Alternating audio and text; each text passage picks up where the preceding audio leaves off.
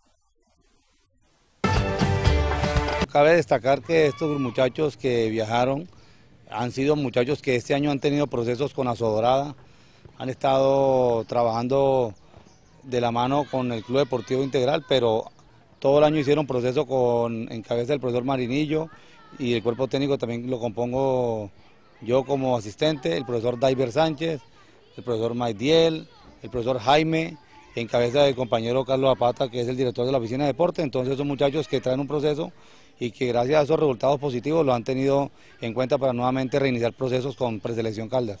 Eh, ¿Cuántos jugadores viajaron y quiénes son?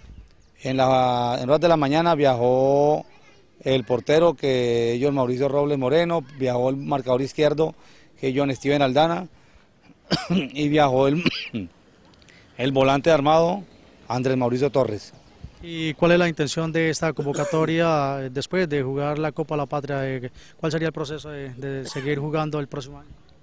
El, objetivo es que en la Copa La Patria ellos se consoliden como titular de la Elección Caldas y participar en los vigésimos Juegos Nacionales que se van a jugar aquí en Colombia. Entonces, ¿por qué no tener acceso a unos Juegos Nacionales y ser titular dentro del, dentro del combinado que representa a Caldas a nivel nacional? Esto hace parte de lo que fue la alianza de los clubes, igualmente la gestión que se viene haciendo a través de, Carlos Zapata, Chicho y, Alirio en cuanto a este tema del fútbol local.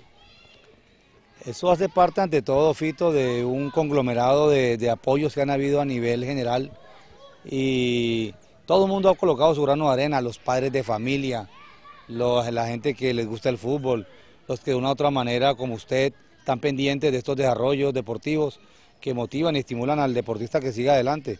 Entonces estos son, estos son desarrollos de los niños y jóvenes de la Dorada que gracias a su disciplina han ganado un puesto y se han posicionado.